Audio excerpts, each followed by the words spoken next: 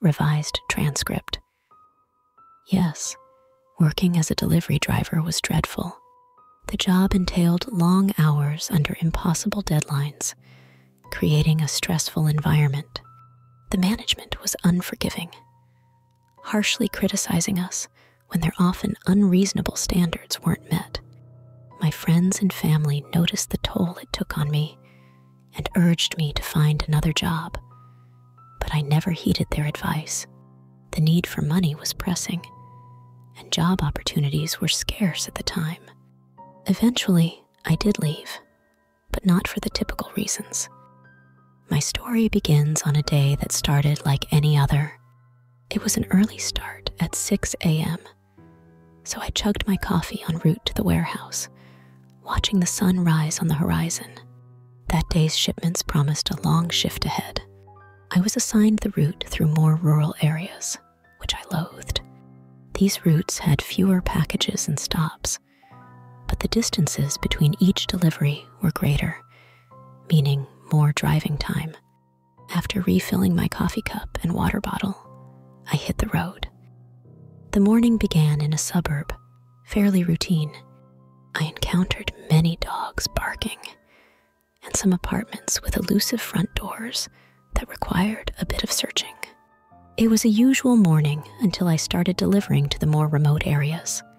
The distances between stops grew, and I relied on a playlist of old school rock to keep me going. The route eventually led me deep into the woods to a particular house. This house was guarded by tall black metal gates, adorned with cobwebs intricately woven into the metalwork. After ringing the doorbell, the gates eerily creaked open. The house itself was concealed by tall trees at the top of a hill. It was a dark mansion, reminiscent of the Addams family residence, with crows and a large black mastiff chained to a post dominating the front yard. The dog, unfazed by the crows, watched me intently. I had multiple large packages for this house, requiring several trips to the front porch. Each time, the dog growled menacingly. After placing all the boxes, I sought a doorbell but found none. Instead, there was a grotesque lion statue holding a metal ring in its mouth. I knocked three times and hastily left. Back in my van, I drove away swiftly, with the gates slowly opening. However, I didn't get far before my tire blew out. With no phone service and my next stop 15 miles away, the eerie mansion, less than a mile behind, seemed like my only option for help. Reluctantly, I returned. As I approached the black double doors of the mansion, the gate swung open just wide enough for a person to pass through. I reached for the lion's ring, before I could knock, the door opened. A tall, broad man stood there, his deep voice inquiring, Can I help you? Yes, sorry to bother you, I replied, explaining my predicament and requesting to use a phone. The man sighed deeply and invited me in. The interior was dim and musty. He mentioned he needed to find his phone and would be back shortly, instructing me to wait in the foyer.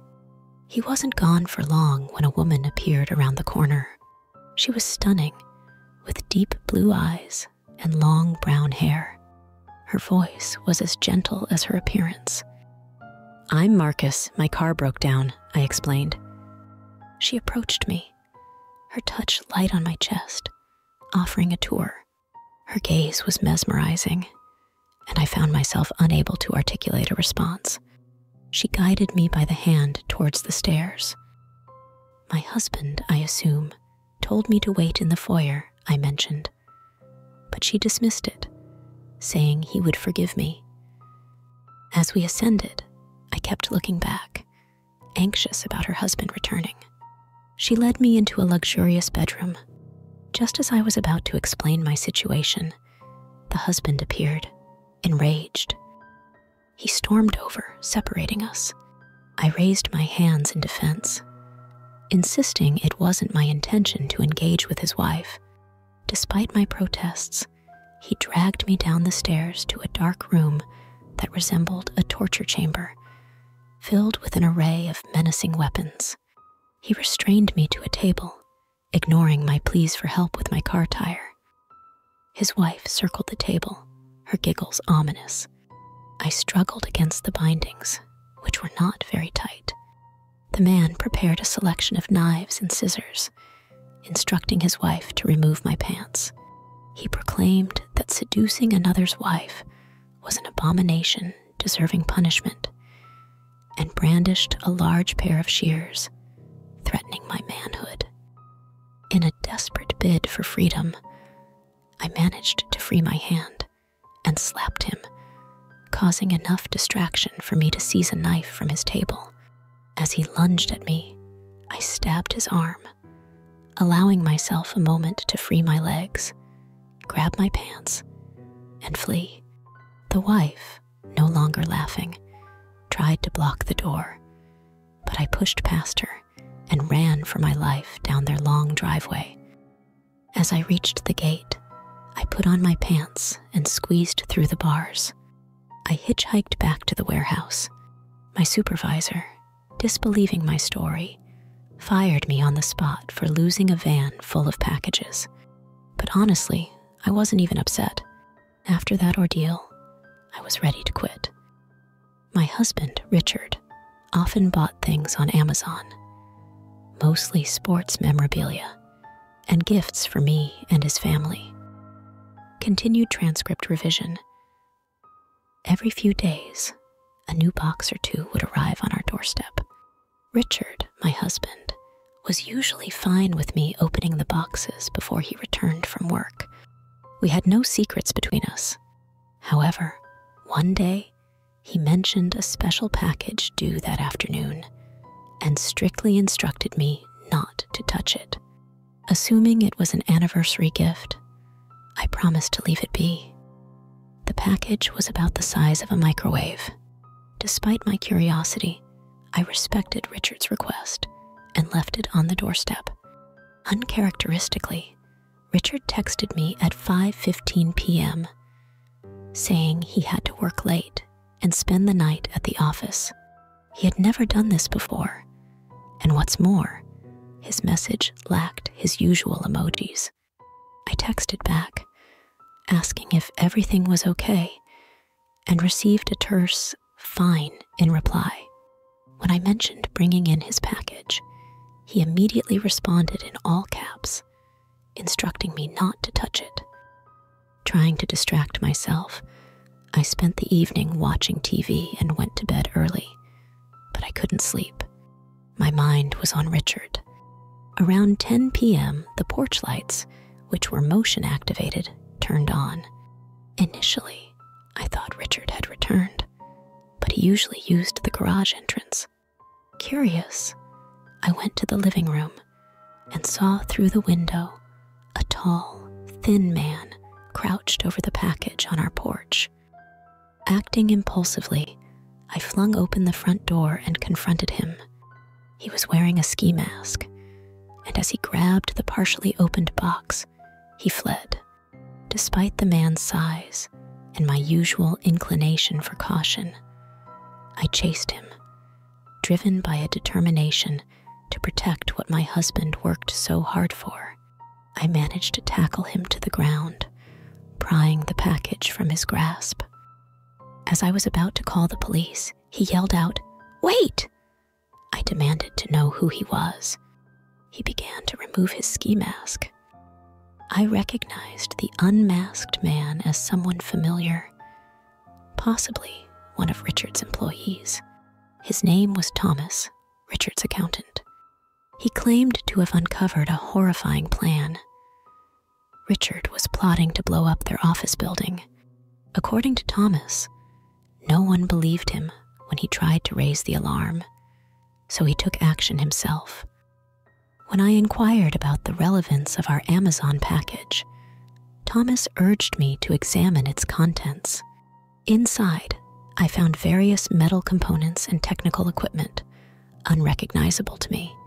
Thomas alleged these were materials for constructing a bomb. He explained that Richard's company was in severe debt, and in a desperate bid to avoid bankruptcy, Richard had planned to destroy the building, pin the blame elsewhere, and profit from the insurance. This plan didn't account for the potential harm to employees present at the time. I struggled to reconcile this accusation with the man I knew. Richard, in my mind, was incapable of such an act. Yet Thomas's earnest demeanor suggested he was telling the truth. He asked me for the box, insisting he needed to destroy it. I questioned him about Richard's whereabouts, and after some hesitation, Thomas admitted he had restrained Richard in his office, planning to take the bomb materials to the police. Conflicted but inclined to believe Thomas, I decided the only way to uncover the truth was to confront Richard directly. Clutching the package, I drove hastily to Richard's office. The building was deserted. I entered and made my way to Richard's office. Upon opening the door, I found Richard tied to a chair, drenched in sweat. He expressed relief at my arrival, but became visibly anxious when he noticed the open package in my arms. He urged me to untie him, promising to explain everything. On his desk, I noticed continued transcript revision. Discovering the building layout with a marked spot for the bomb confirmed Thomas's allegations. I was appalled by the reality of Richard's plan. Despite his pleas, I left him there and immediately went to the police station. Thomas was already there, speaking with a skeptical officer. I presented the box of bomb making materials and corroborated Thomas's story. The officer took detailed notes and dispatched officers to apprehend Richard. I thanked Thomas for his intervention, albeit unconventional, acknowledging the potential lives he saved. My name is Rebecca, and I'm 18 years old. I've been babysitting to save money for college. One day, my neighbor Linda asked me to watch her son, Matthew, for the weekend. I agreed, despite not knowing her well. Linda handed me a printed list of house rules when I arrived including numerous alleged food allergies for Matthew and strict instructions for his care. No TV, music, or loud noises. She made me sign the list, and I regretted accepting the job almost immediately. After Linda left, Matthew relaxed, and we enjoyed our time together, playing with Legos and throwing a baseball outside. When Linda returned, she interrogated me about the evening. I recounted the activities honestly. She paid me, and I left. The next morning, Linda called me, furious. I was baffled as to why, continued transcript revision. Linda's behavior escalated dramatically the next morning. She accused me of harming her son, showed me photos of Matthew's minor knee scrape, and created a scene outside my house. My parents intervened, but Linda left with a threat, heightening the absurdity of the situation. Over the following week, I noticed Linda's hostile glares whenever our paths crossed. Despite my polite gestures, her animosity seemed to grow. Then, on the following Saturday, Linda unexpectedly showed up at my doorstep with a sinister smile, a rope, and sandpaper in hand. Before I could react, she pushed past me, forcefully tied my hands, and pinned me down. She accused me of hurting her son and announced her intention to retaliate by using sandpaper on my knee. Her actions were unhinged. She began to rub the sandpaper against my skin, initially causing only minor discomfort but I feared it would soon become much worse. Linda's vengeful fixation on a minor injury her son had sustained was beyond comprehension. She was intent on inflicting serious harm in return. her actions driven by a disturbing sense of retribution. I struggled beneath her, desperate to escape the escalating pain and her increasingly unstable behavior.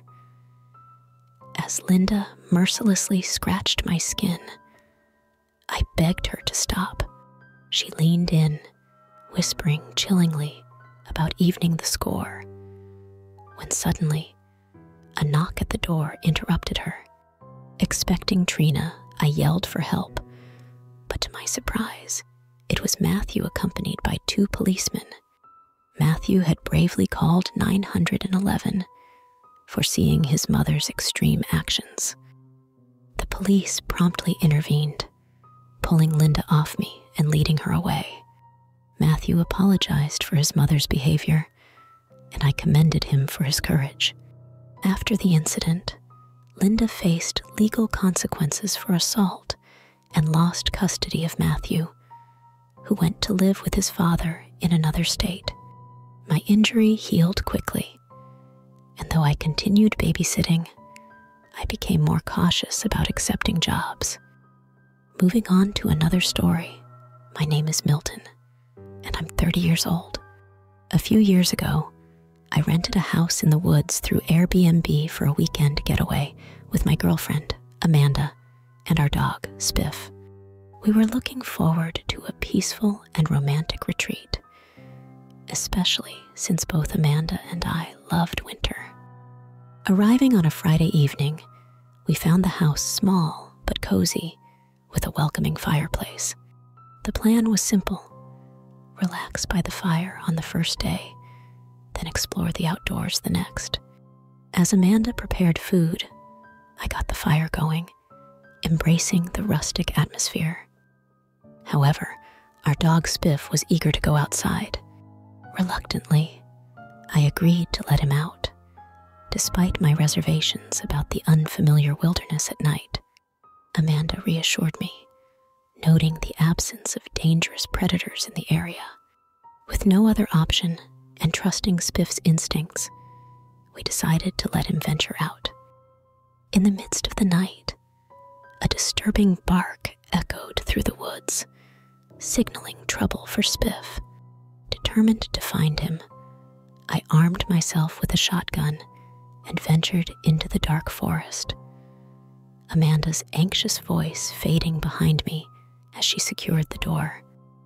Navigating the dense woods, I followed the distressing sounds of Spiff's barks, which abruptly ceased, heightening my concern. Hoping he had merely fallen into a hole, I pushed through the underbrush, trying to remain hopeful. Suddenly, the eerie stillness was shattered by sinister laughter and the horrifying realization that Spiff's decapitated head had been thrown at me. Panic set in as howls resonated around me, and a tall, man like figure with red eyes emerged, chasing me with a mix of wolf like howls and a human gait. In a desperate attempt to fend off this nightmarish creature, I fired my shotgun into the air, but it relentlessly pursued me. Racing back towards the house, I screamed for Amanda to open the door as I neared the safety of the cabin, leaving the forest's ominous shadows behind. I was shocked to find. As I staggered into the house, I was met with two shocking sights. First, the door was ajar, and then, turning back, I realized the creature had vanished, possibly deterred by my gunfire. However, the relief was short lived as I discovered the interior in chaos. Furniture overturned, glass shattered. The most horrifying discovery was Amanda, lifeless on the floor, her body marred by vicious bite marks, surrounded by a pool of blood. Human footprints stained the bloody scene. Overwhelmed with grief, I called the police, who arrived after an agonizing hour. I recounted the harrowing events to them. Later, as they searched the woods, finding only remnants of Spiff, one older officer pulled me aside for a private conversation. He revealed local legends from his childhood in a nearby town tales of a dogman, a creature part dog, part human. Although he had tried to dismiss these stories as figments of imagination, the description I provided matched the mythical creature from his past. The officer's admission added a chilling layer of mystery to the traumatic events of the night. The officer's words resonated with a grim finality. The creature chasing you is responsible for the deaths of your dog and Amanda. The footprints we found, both inside the house and in the surrounding area, are unmistakably human. We'll do our best to find whoever or whatever did this. I'm deeply sorry for your loss. This is a complete tragedy. Months passed, yet the mystery remained unsolved. The story garnered media attention, with articles and TV reports speculating about the cryptic legend of a dogman residing in the woods. The evidence was baffling and left more questions than answers. Some believed in the legend, but for me, the truth mattered little compared to the irrevocable loss of Amanda and Spiff. Haunted by the events, I vowed never to venture into a forest again. The weight of guilt, though irrational, was a heavy burden. The tragedy left an indelible mark on my life, a stark reminder of the unpredictability and fragility of existence.